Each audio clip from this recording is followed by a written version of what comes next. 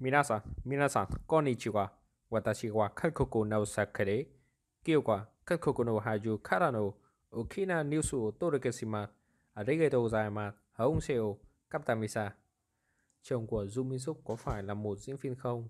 Có phải trầm cảm hơn vì bạn vào ngày 26 tháng 9, bất ngờ của Hàn Quốc Jung Mi Sung đã được đưa ra. Anh đã xuất hiện trong nhiều bộ phim truyền hình Hàn Quốc và là một nữ diễn viên quen thuộc với người hâm mộ ở Nhật Bản. Vì vậy, nhiều người có thể ngạc nhiên. Bạn có thể thấy chồng và con của Dung Mi Sung. Ngoài ra, theo nguyên nhân tôi muốn xem lý do hồ sơ của Dung Mi Sung. Chồng của Dung Mi Sung có phải là một diễn viên không? Còn trẻ em thì sao? Bộ phim được đề xuất của chương trình Chung Mi Sung kết luận chia sẻ liên quan.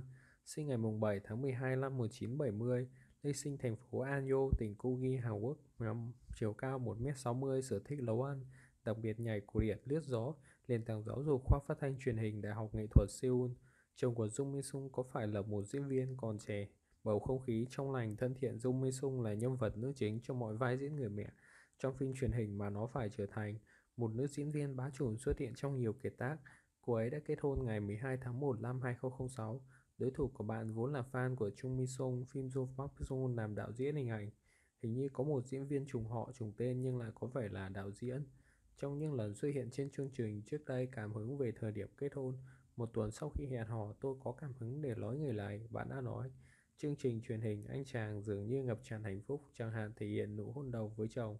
Tôi không có bất kỳ thông tin chi tiết nào về con tôi, nhưng có vẻ như nó là một cậu con trai. Nếu bạn sinh sau khi kết hôn, bạn đã kết vào năm 2006, vậy có lẽ bạn vẫn còn khoảng 13 tuổi, thậm chí bạn vẫn đang là học sinh trung học cơ sở.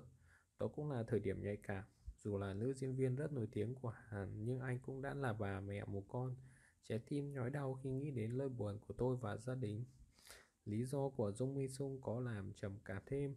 Jung Ji Myung, một người trong sống suôn sẻ và công khai và riêng tư, cuối cùng đã chọn kết quả tồi tệ và một gia đình đang hạnh phúc như vậy.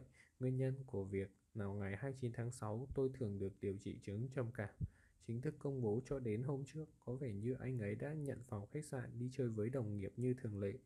Ngoài, người ta ước tính rằng anh ta qua đời vào không có chuyện cho đến nay. Arigatou gozaimasu hong seo kamtamisa